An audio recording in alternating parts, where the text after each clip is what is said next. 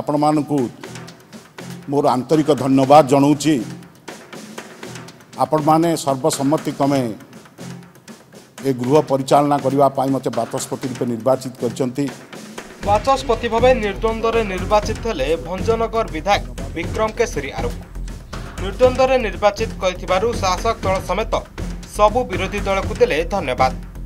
ମାତ୍ର ବିରୋଧୀ ଦଳ ଉଠାଇଥିବା ବିରୋଧୀଙ୍କୁ ସୁରକ୍ଷା ଓ ବାଚସ୍ପତି ଆସନର ନିରପେକ୍ଷତା ପ୍ରଶ୍ନରେ ନବନିର୍ବାଚିତ ବାଚସ୍ପତି ଦେଲେ ନାହିଁ ଆଶ୍ୱାସନା ବିରୋଧୀଙ୍କ କ୍ଷୋଭ ବାଚସ୍ପତିଙ୍କ ନିରପେକ୍ଷତାକୁ ନେଇ ଉଠାଇଲେ ପ୍ରଶ୍ନ।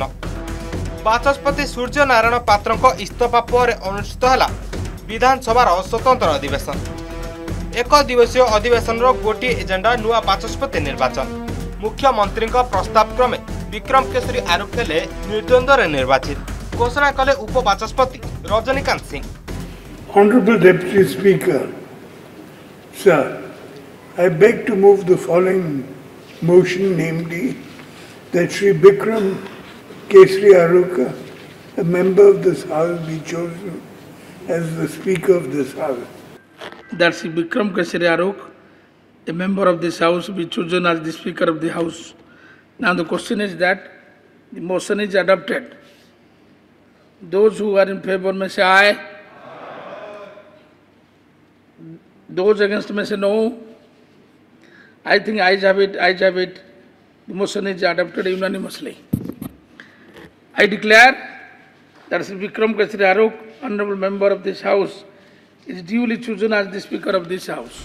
ନୂଆ ବାଚସ୍ପତିଙ୍କୁ ଅଭିନନ୍ଦନ ଓ ସ୍ୱାଗତ ଜଣାଇ ନୂଆ ବାଚସ୍ପତିଙ୍କ ଠାରୁ ରାଜନୈତିକ ନିରପେକ୍ଷତା ପାଇଁ ଅନୁରୋଧ କଲେ ବିରୋଧୀ ବିଜେପି ଓ କଂଗ୍ରେସ ମୋ ଦଳ ଏବଂ ଆମେ ଆଶା କରିବୁ ଯେ ଆପଣ ଏ ଯେଉଁ ନିରପେକ୍ଷ ଆସନରେ ବସିଛନ୍ତି ବାଚସ୍ପତି ନିର୍ବାଚିତ ନବ ହୋଇଛନ୍ତି ସେଥି ନବନିର୍ବାଚିତ ହୋଇଛନ୍ତି ଏବଂ ଆଜି ଆସନ ଅଳଙ୍କୃତ କରିଥିବାରୁ ଆପଣଙ୍କୁ ପୁନର୍ବାର ଆଉ ଥରେ ଶୁଭେଚ୍ଛା ଅଭିନନ୍ଦନ ଦେବା ସହିତ ମୁଁ ଏବଂ ମୋ ଦଳ ଆମେ ଆଶା କରିବୁ ନିଶ୍ଚିତ ଭାବରେ ଆପଣ ଆପଣଙ୍କର ଇଏ ପବିତ୍ର ଗୃହର ଗରିମାକୁ ଏବଂ ଏ, ସମସ୍ତ ଏ, ପରମ୍ପରାକୁ ବଜାଇ ରଖି ସମସ୍ତ ସରକାରୀ ଦଳ ବିରୋଧୀ ଦଳ ସମସ୍ତଙ୍କୁ ସମାନ ଷ୍ଟାଟସ୍ ଦେଇକି ଆପଣ ନ୍ୟାୟ ପ୍ରଦାନ କରିବେ। ମାନ୍ୟବର ମୁଖ୍ୟମନ୍ତ୍ରୀ ଯେଉଁ ପ୍ରସ୍ତାବ ଦେଇଥିଲେ ତାକୁ ଆମେ ଗ୍ରହଣ କରିନେଇଛୁ। କିନ୍ତୁ ରେକର୍ଡ ରଖିବା ପାଇଁ ମୁଁ ଚାହେଁ ଯଦି ଗୃହରେ ପରମ୍ପରା କରାଯାଇପାରେ ପ୍ରସ୍ତାବ ଦେବାର ଆଗରୁ ବିଧାନ ବିରୋଧୀ ଦଳକୁ ବିଶ୍ୱାସକୁ ନେବା ପାଇଁ ତାହେଲେ ଗଣତନ୍ତ୍ରରେ ସେଇଟା ସୁସ୍ଥ ପରମ୍ପରା ହେବ। ମୁଁ ଜାଣେ ନା ଆଗାମୀ ଦିନରେ ସରକାରଙ୍କର ମନୋଭାବ କ'ଣ ହେବ? କିନ୍ତୁ ମୋର ବିଶ୍ୱାସ ଅଛି ମାନ୍ୟବର ବାଚସ୍ପତି ନିରପେକ୍ଷ ରହିବା ପାଇଁ ଚେଷ୍ଟା କରିବେ। ଅଭିନନ୍ଦନର ଉତ୍ତର ରଖିଲେ ବାଚସ୍ପତି।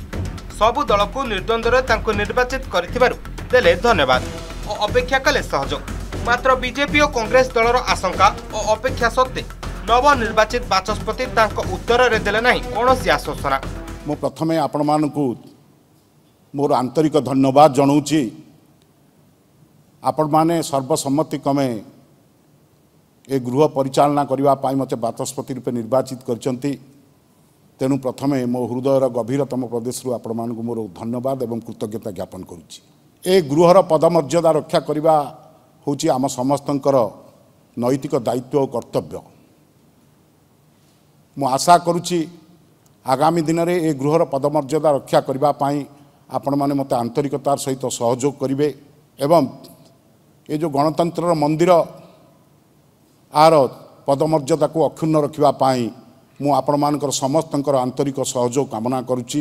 ଗୃହ ବାହାରେ ଗଣମାଧ୍ୟମ ଆଗରେ ନୂଆ ବାଚସ୍ପତିଙ୍କ ନିରପେକ୍ଷତା ନେଇ ବିରୋଧୀ ଦଳ ଉଠାଇଲେ ଆଶଙ୍କା ଓ ପ୍ରଶ୍ନ।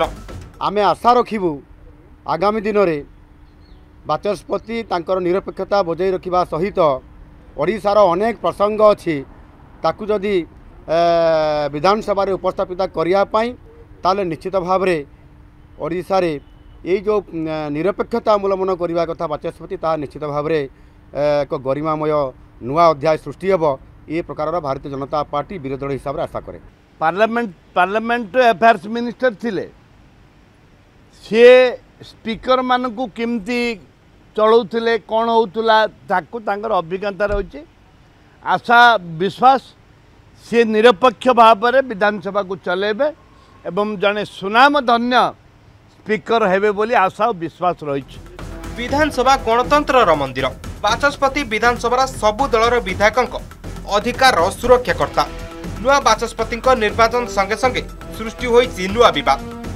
ଆଗକୁ ବିଧାନସଭାର ଗୁରୁତ୍ୱପୂର୍ଣ୍ଣ ବଜେଟ୍ ଅଧିବେଶନ।